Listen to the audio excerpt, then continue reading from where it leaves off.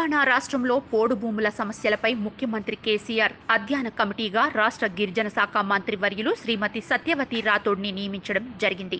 ఈ సందర్భంగా పాలాభిషేకం చేస్తూ బయ్యారం సింగిల్ విండో చైర్మన్ మూల మధుకర్ రెడ్డి మాట్లాడుతూ అతి త్వరలో పోడు భూముల సమస్యలకు పరిష్కారం లభిస్తుంది అని తెలిపారు. అనేక సంవత్సరాలుగా పెండింగ్లో ఉన్న పోడు భూముల పట్టాలకు పరిష్కారం లభిస్తుంది అని తెలిపారు.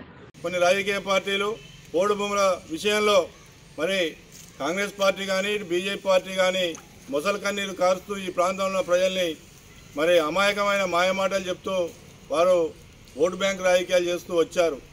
మరి వాస్తవంగా మాట్లాడాలంటే రెండు వేల ఐదులో ఆనాటి కాంగ్రెస్ గవర్నమెంట్ అడివాకుల చట్టాన్ని తీసుకొచ్చి మరి ఈ ప్రాంతంలో గిరిజనులు పోటీ చేస్తున్నటువంటి భూములు ఏదైతే ఉన్నాయో వారిని సాగు చేయనీయకుండా మరి చట్టాన్ని తీసుకొచ్చింది కాంగ్రెస్ గవర్నమెంట్. వారు చేసిన చట్టం ఏదైతుందో ఆ చట్టాన్ని అమలు చేస్తున్నటువంటి ప్రభుత్వం ఇలా బీజేపీ ప్రభుత్వం.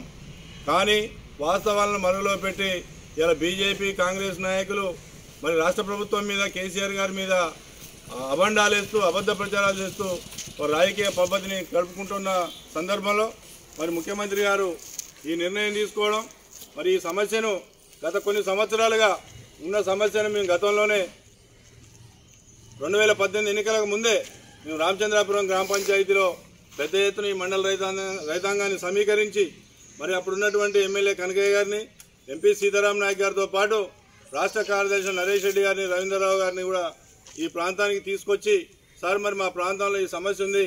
మిగతా రైతులకు మరి రైతు బంధు పథకం వస్తుంది. మరి గిరిజన ప్రాంతంలో ఆర్ఓఎఫ్ఆర్ పొందిన రైతులకు మరి రైతు బంధు వచ్చే పరిస్థితి లేదు. మరి సర్వే చేయకుండా మిగిలినటువంటి రైతాంగానికి పట్టాలు వచ్చే పరిస్థితి లేదంటే వారు వెంటనే స్పందించి ముఖ్యమంత్రి గారితో మాట్లాడిన తర్వాత ఈ ప్రాంతంలో అప్పటి వరకు సుమారుగా ఒక వెయ్యి మంది రైతులకు సంబంధించిన పోడు భూమిలో ఉన్న ఆర్వైఎఫ్ఆర్ ఉన్నటువంటి రైతులకు రైతు బంధిస్తూ రైతు బీమాను కూడా కల్పించినటువంటి ఘనత ఈ ప్రాంతంలో ఉన్నటువంటి ప్రతి టీఆర్ఎస్ పార్టీ కార్యకర్తకి దక్కింది. ఆ విధంగానే మరి ఆ రోజు నుంచి ఈ రోజు వరకు కూడా మరి ఎంపీ గారిని కానీ మంత్రి గారిని కానీ ప్రతి ప్రజాప్రతినిధిని కూడా ఈ ప్రాంతం వచ్చినప్పుడల్లా మా పోడు భూముల సమస్యలు ఉన్నాయి పోడు భూములతో పాటు అసైన్మెంట్ పట్టాలు ఇచ్చినటువంటి పదహారు వేల ఎకరాల మన అసైన్మెంట్ పట్టాలను కూడా రద్దు చేసిండ్రు. మరి గెజిట్ ప్రకారం ఫారెస్ట్ వాళ్ళు ఈ పదహారు వేల ఎకరాలు మాదని చెప్పి రైతాంగం మీద దులుం చేస్తాండ్రు.